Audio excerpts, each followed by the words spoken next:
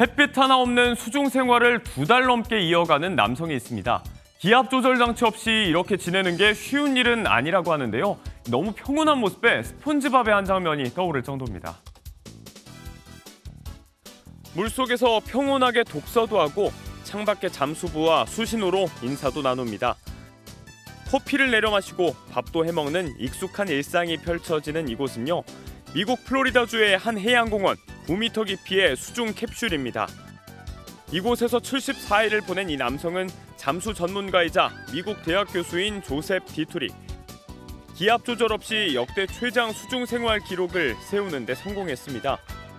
심해 탐험가나 우주 비행사 등에게 도움이 될 정보를 찾기 위해 바닷속에서 100일을 지내보는 프로젝트인데요.